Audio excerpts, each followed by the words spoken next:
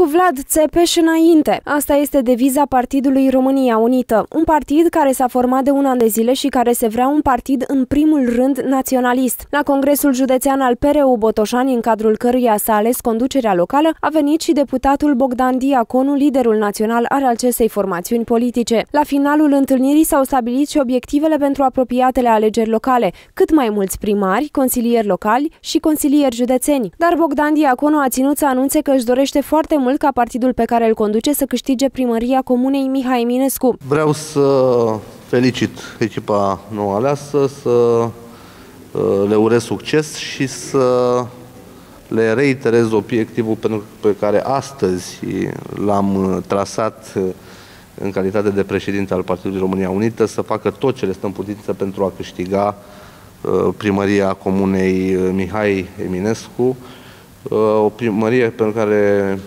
o localitate pentru care pentru noi simbolic înseamnă foarte mult.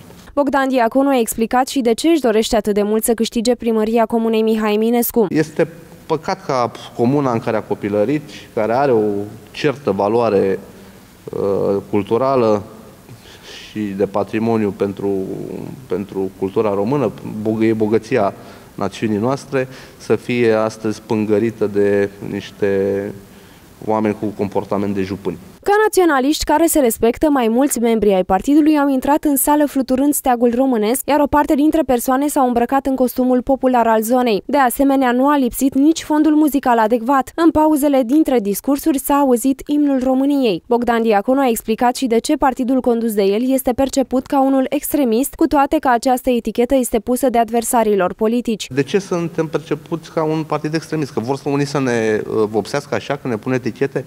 Ce înseamnă Extremismul, să știți că se definește prin uh, impunerea voinței minorității în fața majorității. Să știți că la noi este tocmai invers.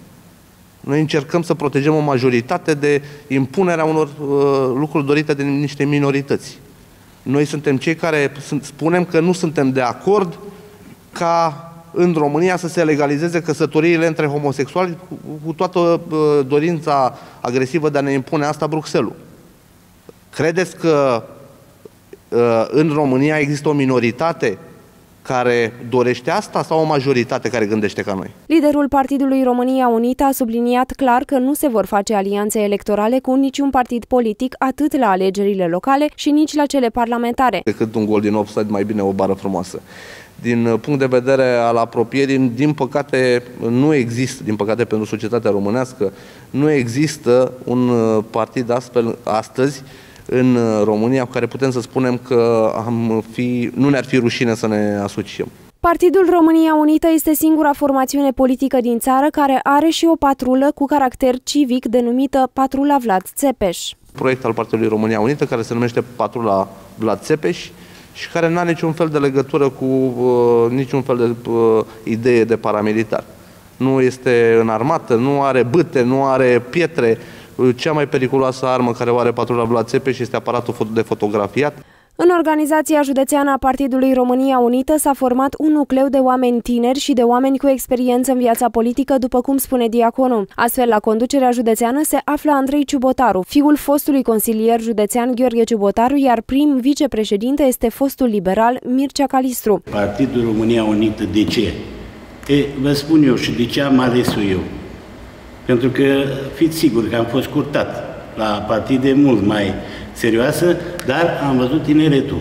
Este o alternativă, părerea mea, a oamenilor ca să aibă ce vota. Bogdan Diaconu a mai spus că deja au fost stabiliți candidații pentru aproximativ 50% din primăriile județului, în ciuda numeroaselor greutăți cu care se confruntă în unele localități partidul, mai ales din partea marilor formațiuni politice. Președintele PRU a intrat în Parlamentul României în 2012 pe listele USL din partea PSD. După ce s-a rupt USL, iar guvernul Ponta a bătut palma cu UDMR, Bogdan Diaconu și-a prezentat demisia din PSD în august 2014, după care imediat a pus bazele Partidului România Unită.